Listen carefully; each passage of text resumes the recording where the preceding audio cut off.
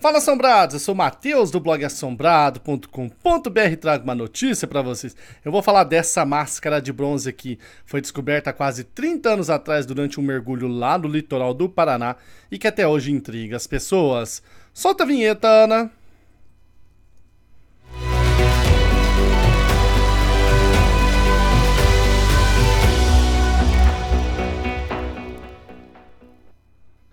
Assombrados, vamos falar aí de um mistério brasileiro que está já durando quase 30 anos. É uma peça de bronze com aproximadamente 30 centímetros que foi encontrada durante um mergulho na praia dos Amorés, em Caiobá, no balneário de Matinhos, e que está intrigando os moradores do litoral do Paraná desde então.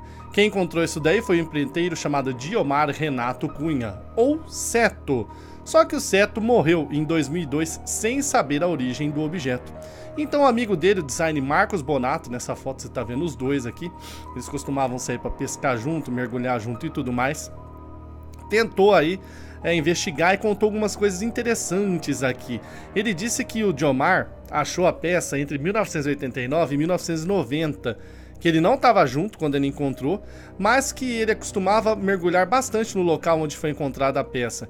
Ele encontrou a peça, aliás, junto com umas pedrinhas que haviam ali na água na época.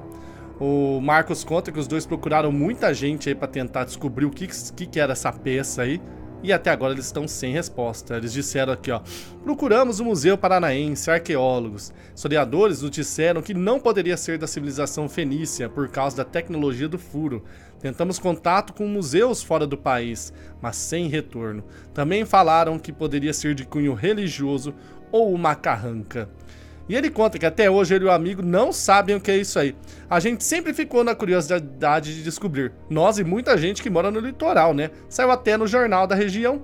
Eu, particularmente, também já pesquisei muito, muito mesmo e não achei nada de concreto. Então o pessoal do G1 foi atrás para ver aí se os museus alguém poderia ajudar a identificar de que, que, que é isso daí, entendeu? Isso daí, aliás, tá com a viúva do Seto, a, a esposa dele tá lá em Matinhos, tá? O Laércio Loyola Brochier, da Universidade Federal do Paraná, arqueólogo e professor, disse o seguinte: que é uma peça sem contexto. Com isso, quer dizer que foi encontrada uma atividade não foi encontrada através de uma atividade sistemática da arqueologia subaquática, onde talvez fosse possível relacionar outros objetos no local, ou seja, simplesmente pegaram e tiraram de lá. Então fica difícil saber o que, que é. Tinha que olhar os arredores e juntar todas as peças para poder dizer aí da onde que era.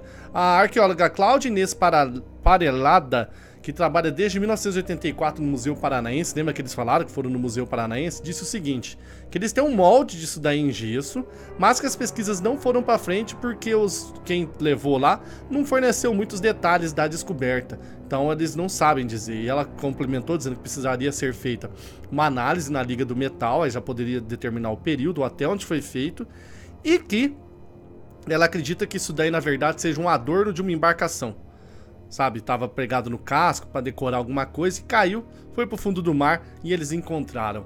É uma peça interessante. Tem traços medievais, tem de cavaleiro, tem simbologia variada. É um negócio legal. Olha que peça bem interessante, 30 centímetros.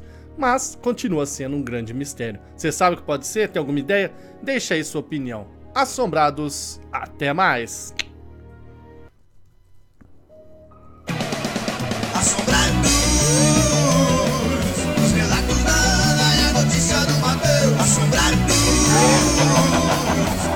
BR, você não se inscreveu.